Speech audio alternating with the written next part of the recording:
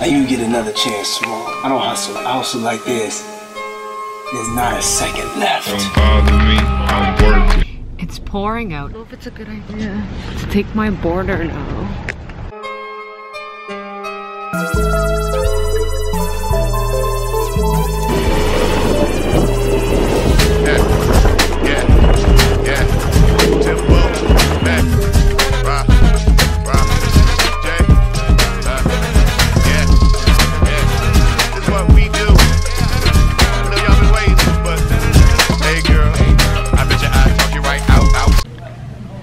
The military is literally training Falcons to target drones. So if you're flying a drone, be careful because you could get attacked by a Falcon because of the military. I think this is more in the States though, so maybe Canada's safe? I don't know.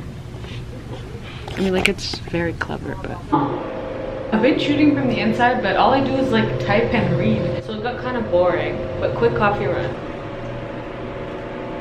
Yeah, typing gets boring.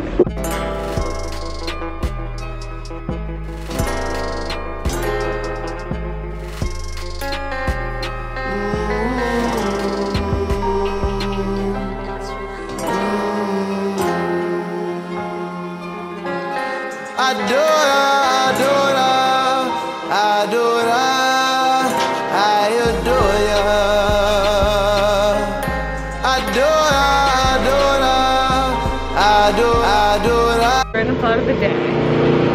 Goals. I want to talk about goals. What it feels like to have it, something that you're working towards. Even though it might not necessarily be clear, but you're kind of still tackling it and trying to get at it. And there's something that I realized. Um, sometimes we kind of have an idea of like the way to get to, to get what we want and there's a thought that I have in mind, like something that I read, and it said something like this. Be stubborn about your goals, but flexible about your ways. So it doesn't matter what your goal is, as long as you know what your goal is, as long as you have a certain goal, but just be flexible about the methods and keep an eye open for different opportunities, because you never know.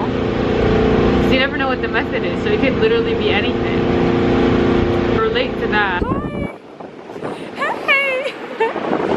Got interrupted by a really cute puppy, but uh, to relate to that, I'm stubborn, but I'm also very flexible. Like I'm stubborn, I'm stubborn about what I want. I think I dropped one of my bracelets. Anyway, I'm stubborn about what I want, but I'm also flexible with the methods. I, it's like by any means necessary. So be stubborn about your goals, but be flexible with the methods. That, I hope that makes sense. Anyway, my random thought of the day. All right, so made it into my car and going to a